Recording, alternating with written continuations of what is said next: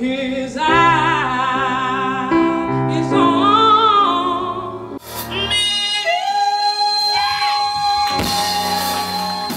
Can you even handle the level of drama I'm about to spill? Okay, get this. Imagine being brutally dumped by your very first record label. Ouch! Talk about a cold industry welcome. But the plot thickens. You didn't just fade into the background, you brought a new life into this world at the oh so young age of 19. Imagine the roller coaster of emotions. But the universe wasn't done with you yet. You found yourself at absolute rock bottom, homeless, with your back against the wall, facing the darkest moments one can imagine. And just when you think it can't get any more dramatic, you're contemplating a tragic exit. Can you believe all this turmoil befell just one person? Yes, y'all meet Tanya Blount. Now, hold your pearls, because here's the jaw dropper. Who's at the center of this whirlwind of negativity? None other than Sean Combs, aka P. Diddy. Now, doesn't that just add a whole layer of intrigue? Tanya Blount, a dynamo from Washington, D.C., hailing from the DMV to be precise. This teen sensation took the music world by storm in 1994 with her soul piercing hits like Hold On Hold on, baby. and Through the Rain. I'll be here by your side.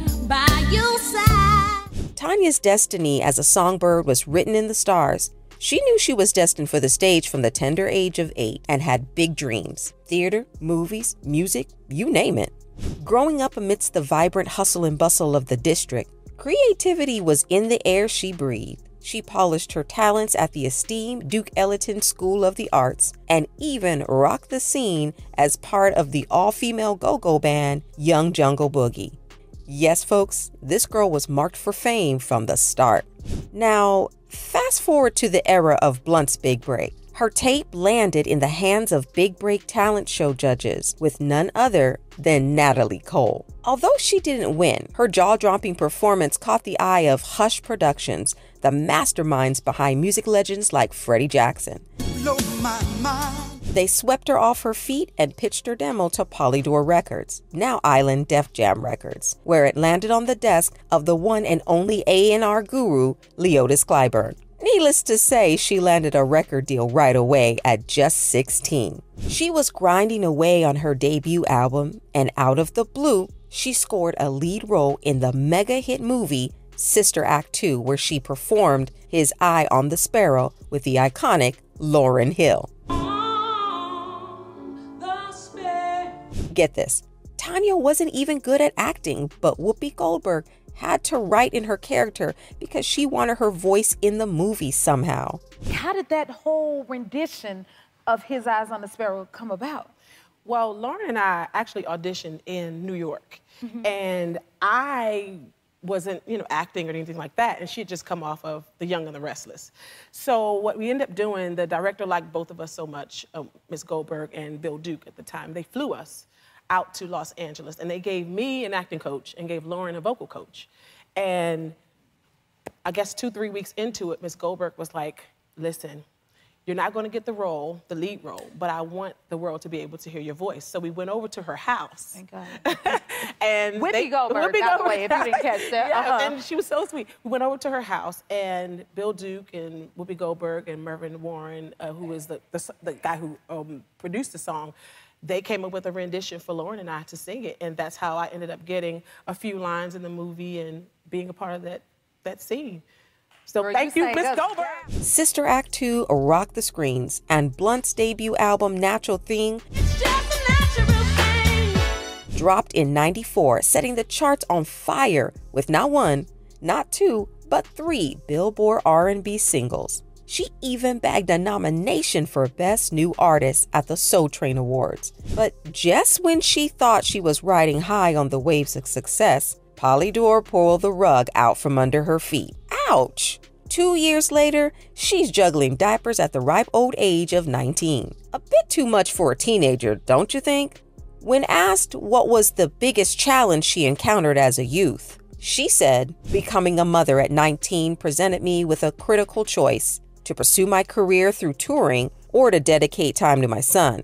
I aim to protect him from the rigors of life on the road, which is why he last joined me on tour at just four months old. Now in his 20s, he is unfamiliar with the touring lifestyle. Fast forward to 96, and she signed with Bad Boy, hoping to turn the tide. She had the opportunity to work on an album under Bad Boy Records, with Diddy himself taking a hands on role in its production. Tanya was thrilled by Diddy's guidance and involvement and felt optimistic about the project's future. However, her excitement turned to disappointment as Diddy's interest waned, eventually abandoning the project altogether. In an interview with the Washington Post, Tanya shared how the project was left to stagnate, turning months into years of waiting. She felt betrayed, believing Diddy had deceived her from the start, a sentiment echoed by her manager, who described their experience as getting caught in Puffy's vortex.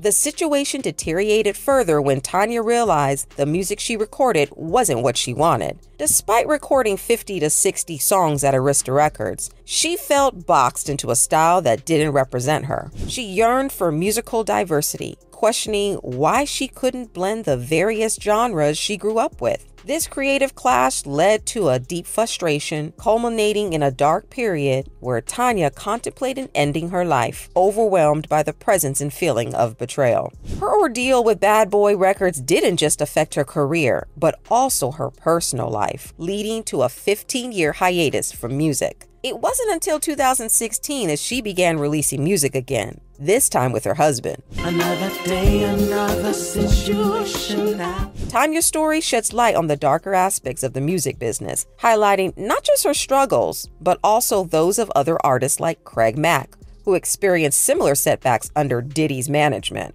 These narratives paint a complex picture of talent management, creative control, and the personal toils of industry pressures.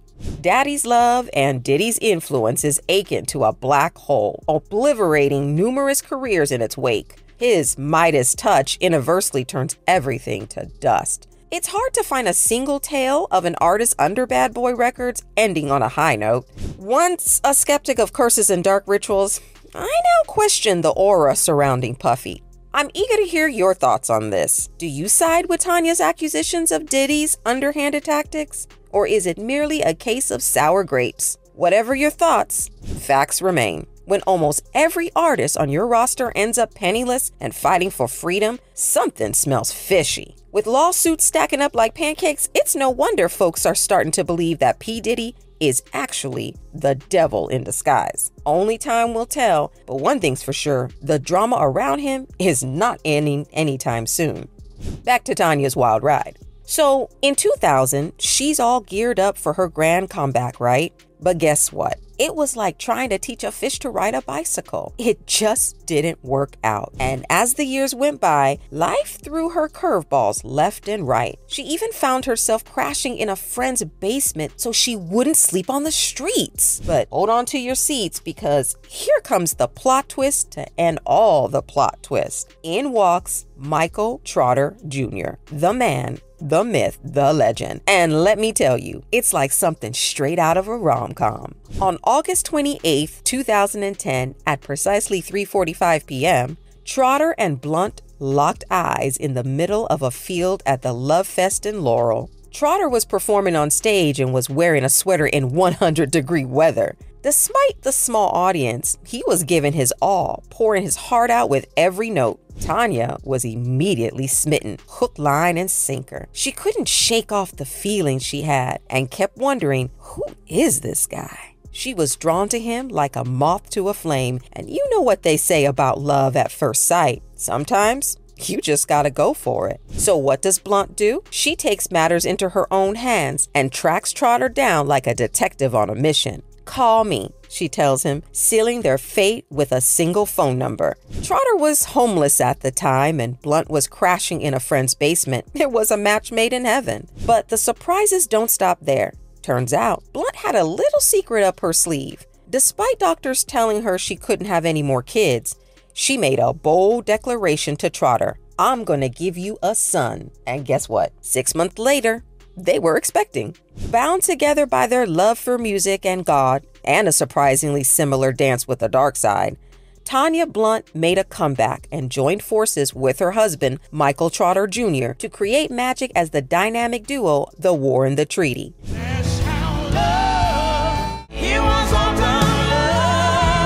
They were on top of the world playing the Grammys and booking gigs left and right. Finally, their hard work was paying off and they were ready to take the music scene by storm. But then, bam, the pandemic hit, throwing a curveball no one saw coming. Despite the chaos of 2020, they managed to drop a bombshell on the music charts. A song they wrote and recorded with Zach Bryan skyrocketed to number 14 on the US Hot 100. That's not all. It climbed to number 14 in Canada and even snagged the number 33 spot on the Billboard Global charts. Hey, In a groundbreaking move, the War and Treaty made history in 2023 as the first black duo to receive nominations for the Country Music Association Award for Duo of the Year and the Academy of Country Music Award for Duo of the Year. But that's not all. They're also making waves in the music industry with two nominations for the 66th Annual Grammy Awards, including the prestigious Best New Artist category. We are here with the War and Treaty nominated tonight. You guys are nominated in the Best New Artist category. How does it feel to be nominated in that category? it's surreal. I mean, you know, I always say God makes all things new. so we're new and it's, you know, we're new to somebody. So I'm very happy that the 10 years we've been doing this, we're able to be nominated as Best New Artist. And if that wasn't enough to make your jaw drop, get ready because an upcoming biopic based on the group's extraordinary journey is set to hit theaters soon. We have a challenge for you. Go and check out the band's music and tell us which you prefer in the comments. Tanya's 90s classic or the healing tunes of the War and Treaty. We'll be looking forward to your comments. See you next time.